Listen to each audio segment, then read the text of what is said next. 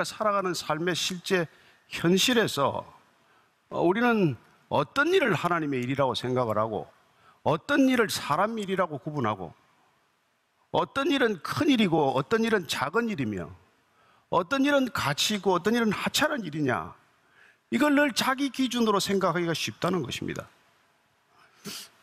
그래서 우리는 신앙이 없는 사람들보다도 자칫하면 이분법적 상호가 너무 강해진다는 거예요. 소위 말해서 성과 속의 구분이 너무 강해지는 거예요. 이건 성스러운 일이다. 이건 교회 일이고 하나님 일이다. 그러니 잘해야 되는 일이고 이건 하찮은 일이다. 세상 일이니까 대충 안 해도 그만이다. 이게 아니란 말이에요. 하나님은 하찮은 일을 잘하는 다윗에게 큰 일을 맡기게 돼요. 그래서 이 다윗이 우리가 16장에 보면은 이게 왜 하나님 눈에는 들었는데 사람들 눈하고는 안 맞잖아요. 아버지 이세조차도 기름 부음을 아들 여덟 아들 중에 받는다면 당연히 키가 큰 용모가 준수해서 사울과 같은 그런 엘리압에게 그 기름을 부어야지 왜 가장 하찮고 볼품없는 다윗에게 기름을 부을까? 그 생각을 했을 거예요. 그래서 우리가 앞에 그 기름 붓는 장면을 한 번 더 보면, 예.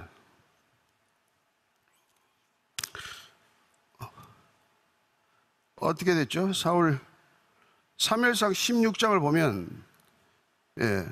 그가 기름 부음을 받았더니 그는 하나님의 영에 충만한 사람이 되었어요.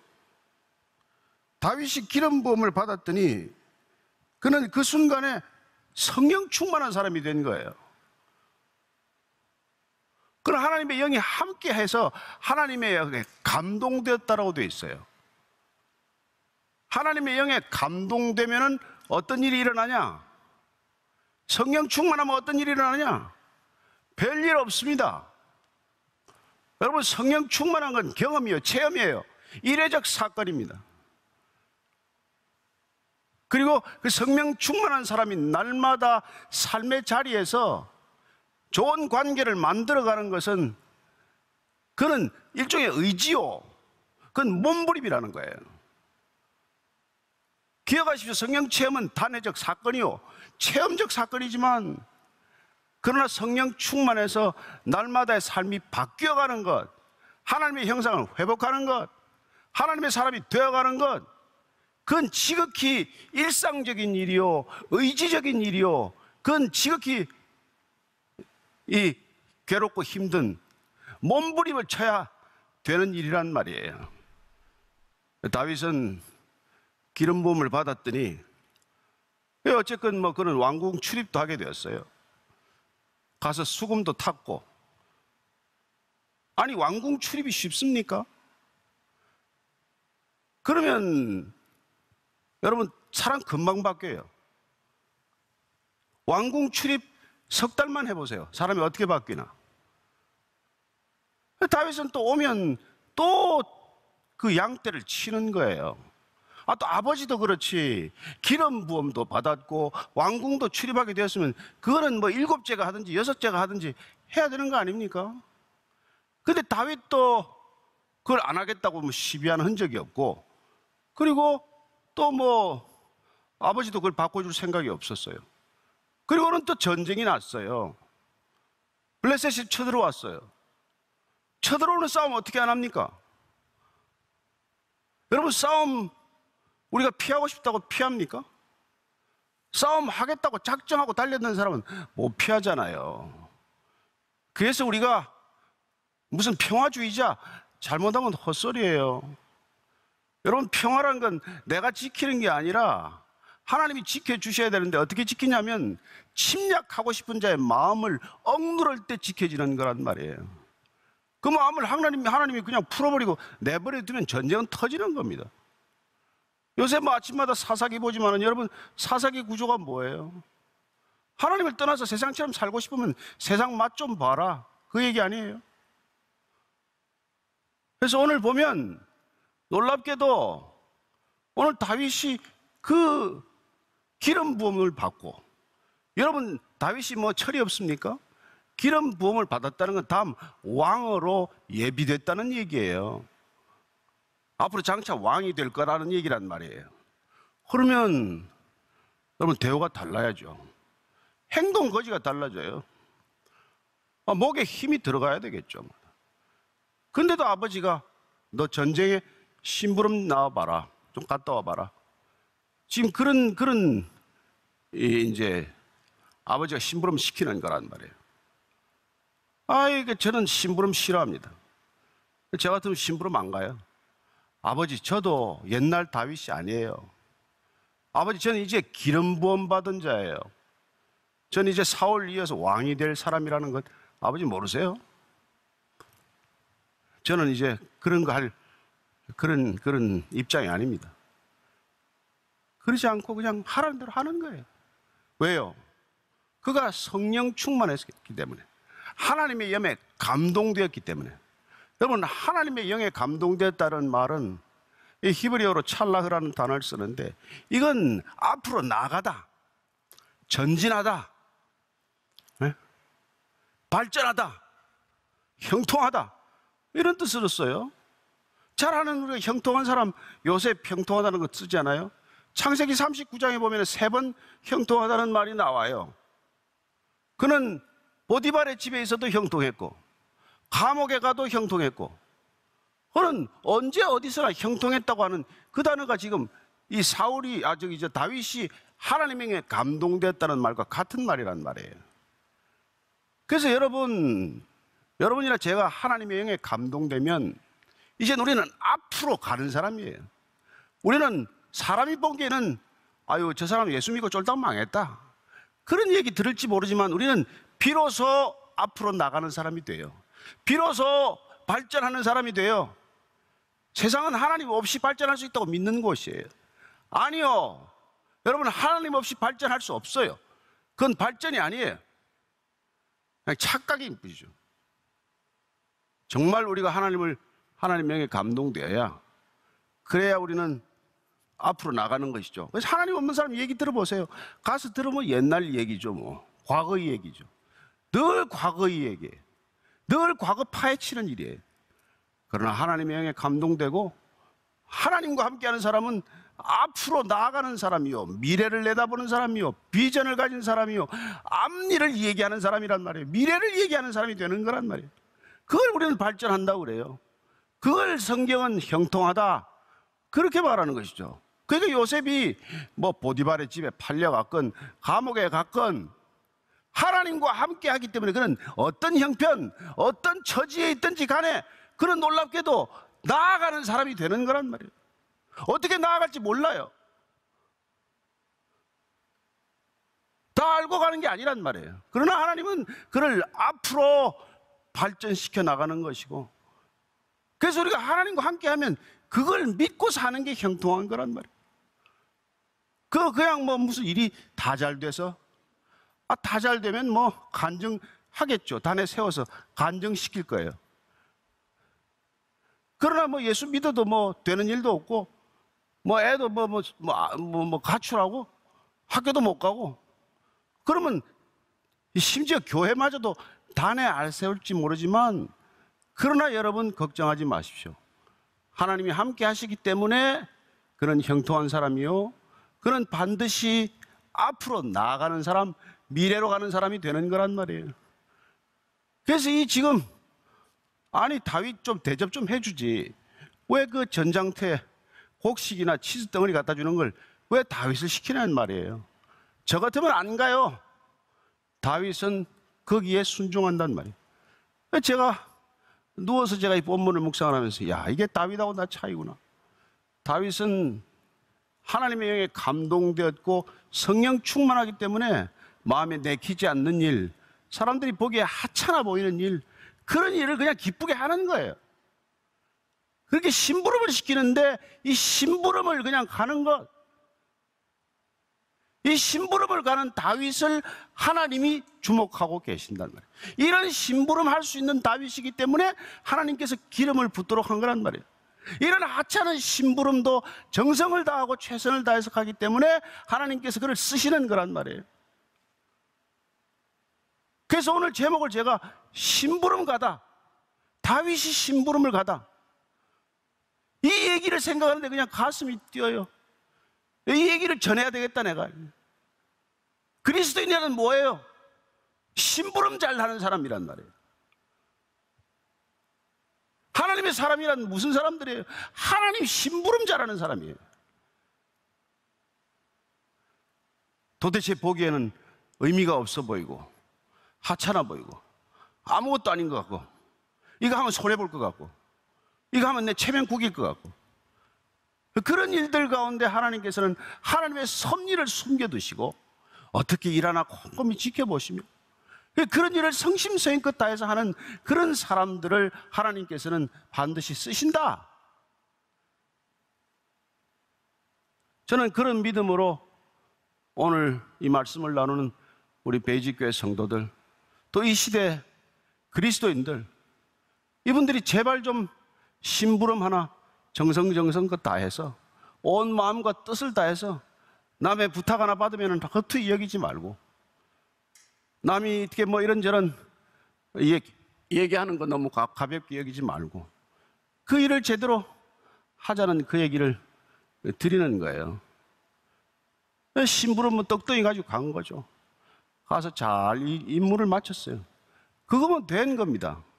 더 안 해도 누가 심부름 잘못했다고 나무랄 사람 없어요. 그러나 다윗은 그 현장에서 목격을 해요. 골리앗이란 작자가 그렇게 이스라엘을 이스라엘 군대를 모욕하고 하나님을 모욕하는 걸 충격적으로 받아들인단 말이에요. 그 사울 이하 모든 군사들이 다 겁먹고 도망가는데 도망와서 하는 소리라는 게 야, 골리앗 쓰러뜨리면 이런 이런 포상금이 있대네. 골리앗보다도 골리앗 목을 치면 받게 되는 포상금이 더 관심이란 말이에요. 이게 세상이에요. 어쩌면 이게 교회예요. 교회 뭐하러 다닙니까? 포상금 때문에 다니죠, 뭐. 뭐, 뭐 하면은, 뭐 하나님의 일을 잘하면 이런 이런 포상이 있답니다. 포상이 있거나 없거나, 일이 잘 되거나 안 되거나, 내가 형편이 나아지거나 나빠지거나, 하나님을 변함없이 섬기는 것. 그걸 하나님은 그렇게 묵묵히 지켜보고 기다리시는데, 뭔 일이 좀 되면 열심을 다했다가 뭔 일이 내 뜻대로 안 하면 교회를 떠나네 교회를 옮기네 그게 그게 그렇게 하나님 쓰시겠어요? 저는 여러분들이나 저나 제가 뭐 여러분들보다 더 충성심이 있다고 이런 얘기하는 게 아닙니다. 오늘 우리가 이 본문을 묵상하면서 어떻게 하면 어떻게 하면 우리가 정말 하나님의 마음에 합한 자가 될 수 있느냐? 어떻게 하면 아, 하나님께서 정말 기뻐하시는 그런 신앙인이 될 수 있느냐? 이 얘기를 한번 해보자는 거죠. 다윗은 아버지 이세가 심부름을 보냈어요. 그러나 하나님께서는 저 골리앗을 상대할 사람을 누구를 보낼고 그 이스라엘 이 군인들 지금 대치 상황에 있는 이스라엘 부대는 단 한 사람이 없단 말이에요. 그래서 하나님께서는 아버지 이세의 마음을 움직이고 이세를 통해서 다윗을 그 현장에 보내서 겉보기에는 이세가 심부름을 보낸 거예요. 겉보기에는 아버지 이세가 떡하고 볶은 곡식하고 치즈를 보낸 거예요. 사람들은 그밖에 안 보일지 몰라요. 그러나 우리는 그 걸음, 심부름의 걸음이 하나님께서 그를 보내시는 심부름길이라는 걸 우리가 이걸 영적인 눈을 떠야 살펴진단 말이에요. 그렇습니다. 사람의 손길 가운데 하나님의 손길을 발견하는 것. 사람이 시키는 일이지만은 그 가운데 하나님이 시키는 뜻을 분별하는 것. 사람이 보내는 심부름이면은 그 심부름 걸음에 하나님의 심부름의 뜻이 있다는 것. 이걸 여러분 깨닫는 게 이게 바른 신앙인만이 가능한 일 아니겠어요? 누가 그걸 이렇게 다 한눈에 직관해낼 수가 있겠냐는 거예요. 그러니까 다윗은 뭐 그냥 형들하고 얘기 적당히 하고 아버지 심부름 잘 끝내고 형들 잘 있다는 증표 하나 받아가지고 가면 돼요. 거기까지가 다윗이 아버지 이세로부터 심부름 받은 목적이고 그거 잘하면 그것만으로도 충분해요. 그것도 잘못하는 사람이 많으니까. 그러나 그는 그 현장에 가서 골리앗을 보는 순간 그리고 골리앗을 피해서 달아나는 모든 이스라엘 군대를 보는 순간 그는 직관한 거예요. 이건 아니다. 이건 이건 아니다. 이건 아니다. 어쩌면 그는 그 순간 그 자리에 온 목적과 그 자리에 자기가 있게 된 이유를 직관했을 거라는 것이죠. 아, 내가 그냥 떡하고 치즈덩어리 하나 메고 왔지만 이게 다가 아니었구나. 그리고 그는 거기서 그 자리에서 물어보는 거란 말이에요. 왜, 왜, 왜 아무도 이걸 화를 안 내냐? 왜 골리앗이 저런 수여, 수치를 겪게 하는데 나라 전체가 수치를 겪고 이러는데 왜 아무도 대응을 안 하지? 그리고는 고작 골리앗 목을 따면 뭐 왕의 사위가 되고 큰 보상금이 오고 집에 면세 혜택이 주어지고 뭐 그런 얘기만 잔뜩 하는 거예요. 다윗이 지금 그런 상황을 지금 확인하고 또 물어보고 하는데 형 엘리압이 득달같이 화를 내잖아요. 중요한 건 뭐예요? 다윗의 반응이란 말이에요. 다윗이 한 성깔 할 수 있는 사람이에요. 네, 제가 본 데는. 근데 하나님의 영에 감동되었기 때문에 하나님의 신에 감동되고 성령 충만했기 때문에 그는 선을 넘지 않는단 말이에요. 남들 앞에서 형하고 다투지 않는단 말이에요. 뭐 한마디 조금 점잖은 얘기 한마디 하긴 했지만 그걸로 끝이에요. 더 이상 얘기하지 않아요. 왜요? 그는 이 심부름이 하나님의 심부름이라는 걸 알게 되고 골리앗에게 보낸 심부름이라는 걸 알았기 때문에 그는 이제 골리앗에 집중한단 말이에요. 여러분 심부름을 잘 이해하는 사람은 심부름의 목적을 얼른 꿰뚫어 본단 말이에요. 내가 비록 아버지 이세의 심부름을 왔지만 그는 골리앗을 보는 순간 그리고 골리앗을 상대하는 이 모든 이스라엘의 대응을 보는 순간 이건 하나님이 나를 보내지고자 하는 심부름 장소구나 이런 생각이 든단 말이에요 왜 아무도 얘기를 안 하지? 왜, 왜 아무도 저걸 반응을 안 하지? 어? 그러고는 뭐 골리앗을 어떻게 할지는 생각 안 하고 골리앗 죽이면은 뭐, 뭐, 뭐 이런 이런 포상이 잔뜩 있다는 거네. 저는 다윗이 엘리압 이 형과 싸우지 않은 부분, 형에게 대들지 않은 부분, 이건 너무너무 중요한 부분이란 말이에요. 저는 이게 다윗이 앞으로 오실 예수님을 예표하는 인물 가운데 하나가 되는 이유란 말이에요. 모세도 그러하고 다윗도 그러하고 하나님을 중심으로 마음에 모시고 사는 사람들은 이런 행동을 하고 살 수밖에 없는 사람이 된다는 것입니다. 왜냐하면 그런 적을 알게 됐단 말이에요. 그런 인생에 보내진 심부름의 뜻을 알게 됐단 말이에요. 내 인생은 뭘 하라고 보낸 심부름인가? 여러분 우리가 믿음의 길 간다는 거 다 심부름꾼으로 나오는 살아가는 거예요. 인생 별것 아닙니다. 하나님이 심부름 좀 하다 가는 거예요. 저나 여러분이나 심부름 좀 하는 게 다 전부예요. 그 심부름이 뭔지를 정확히 알면 싸워야 될 사람과 싸우지, 싸우지 않아야 될 사람과 싸우지 않는단 말이에요. 교회끼리 왜 싸웁니까? 부부지간에 왜 그렇게 싸우고 살아요? 부모 자식 간에 왜 그렇게 싸우고 형제 간에 왜 그렇게 싸우고 자매들 간에 왜 그렇게 싸우고 사냔 말이에요? 무슨 심부름을 받았는지 모르니까 인생에 무슨 심부름하러 왔는지를 모르니까 아, 고작해야 심부름 꾸린 주제에 자기가 심부름 시키는 사람인 줄 알아요 자기가 인생의 주인인 줄 알아요 인생의 주인 누가 있습니까 우리가 믿는 사람들이 다 심부름 받는 온 사람들인데. 예수님께서 그걸 아셨, 아셨 기 때문에 예수님께서 뭐 분명하시죠, 뭐.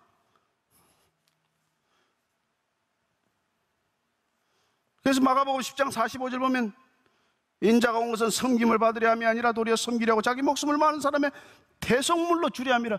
나는 죽으라고 심부름을 받았다. 여러분 예수님은 이 땅에 죽으라고 심부름을 받았다. 이걸 잊어본 적이 없단 말이에요.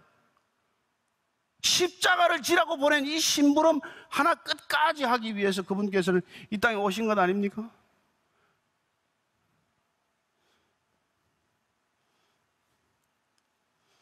다른 사람들의 심부름 보내놓으면 그냥, 그냥, 그냥 정신 다 잃어버려.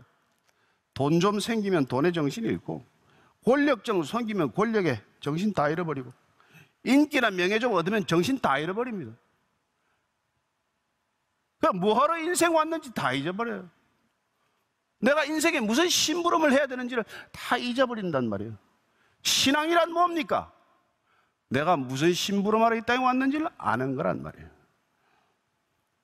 예수님께서는 이 땅에 거대한 종교 기득권 세력을 갖다가 골리앗으로 삼으셨기 때문에 그들과는 타협하지 않으셨습니다. 그들을 끝까지 그 주님께서는 나무라셨고 때로는 저주하셨고 때로는 그들에게 결국 십자가에 박히게 되시죠. 그러나 그들에게 십자가에 박히는 그 목적을 통해서도 하나님께서는 하나님의 일을 이루어 가시는 분이십니다. 다윗은 골리앗을 쓰러뜨리는 게 심부름의 목적이 될 거예요. 그러나 예수님께서는 십자가 앞에서 쓰러지는 게 심부름의 목적이란 말이에요. 각자 달라요. 저 사람 심부름 만데 신경 쓰지 마세요. 저 사람은 그런 일의 목적을 받고 보냄을 받았고 저와 여러분들은 각자 어떤 일로 보냄을 받았는지 나는 무슨 일 하라고 주님께서 부르셨고 무슨 일 하라고 보냄을 받았는지 어떤 심부름 잘하라고 보냈는지 그거 하나 집중하는 게 우리 신앙의 핵심이란 말이에요. 그래서 저와 여러분들이 정말 오늘 이 본문을 읽어보고 또 같이 묵상하고 같이 나누면서 우리가 이 짧은 시간, 얼마 남지도 않은 시간, 정말 이 마지막 시대에 주어진 귀한 시간, 이 시간 하나님께서 뭐하라고 심부름 보냈는지 좀 깊이 생각하는 시간이 되기를 축복합니다.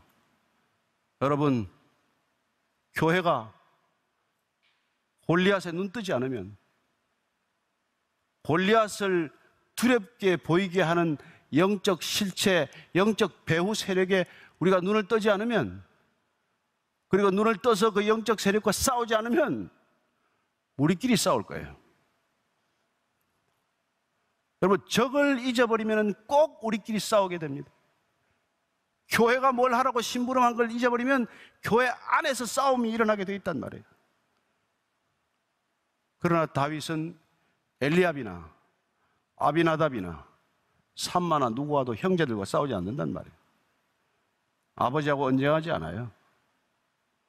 왜냐하면 그는 골리앗에 눈 떴기 때문에 내가 싸워야 할 실체가 누군지를 알게 되었기 때문에 저는 이 시대 교회가 진정 싸워야 할 대상에 초점을 맞출 수 있게 되기를 바랍니다.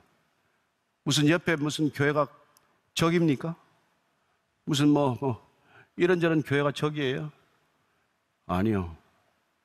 저는 이 세상을 움직이는 거대한 세력, 거대한 사탄이라고 하는 영적 존재, 그걸 우리가 잊어버리면 절대로, 절대로 안 된다는 것입니다.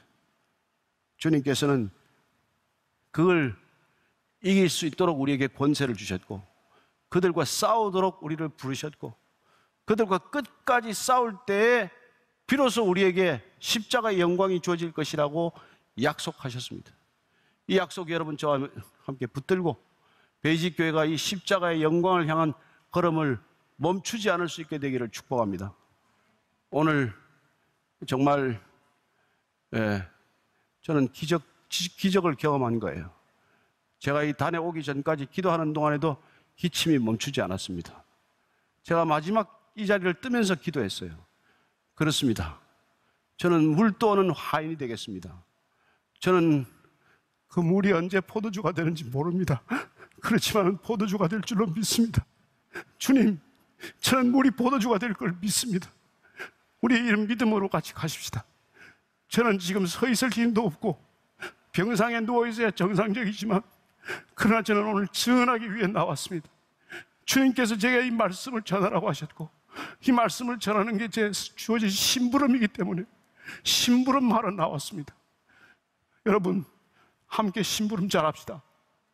주님께서 심부름 하라는 거 정신 똑바로 차리고 끝까지 심부름 잘하면 정말 영원한 상급이 있을 줄로 믿습니다.